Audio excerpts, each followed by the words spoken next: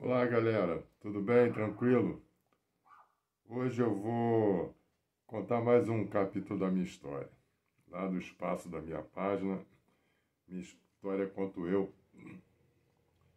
Quem não me conhece, meu nome é Luiz Fontes, tá? Sou artista plástico, aposentado, moro aqui em Miguel Pereira e eu tenho um portal de arte com meus trabalhos, minhas coleções, minhas exposições, filmes, música, trabalho dos amigos e por aí vai. O endereço da página é feminapente, P-A-I-N-T, né, de pintura, ponto, blogspot.com.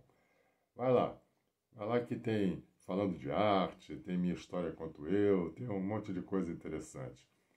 E hoje eu vou contar mais um capítulo da minha história. Vou voltar lá atrás. Olha o bonezinho.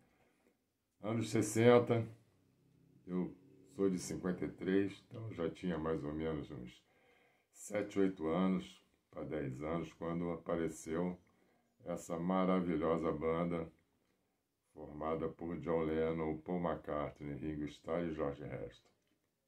Foi uma paixão absurda no Brasil. E meu pai era um camarada meio esquisito. Ele proibiu os Beatles em casa, mole. E eu caguei, andei para ele, falei com a minha mãe, minha mãe me deu dinheirinho.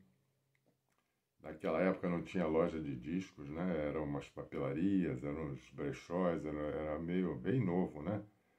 60, 63, imagina.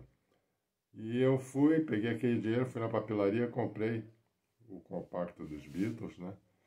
Love Me Do, depois comprei um compacto duplo, duas músicas de cada lado, e por aí comecei. E chegava em casa, escutava na vitrola quando meu pai não estava, né? Porque ele dizia que cabeludo em casa não entrava. Imagina, olha só, se falar isso hoje para os garotos aí, bate no pai.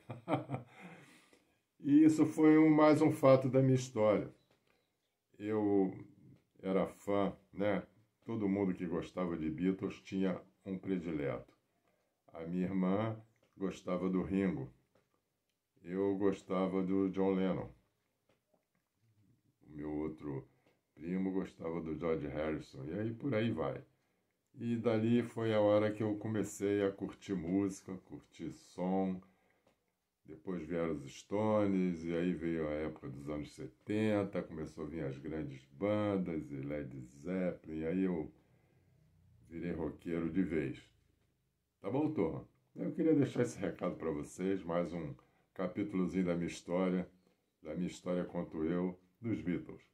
Um grande abraço, uma boa semana para vocês, fique com Deus. Tamo junto, galera. Valeu!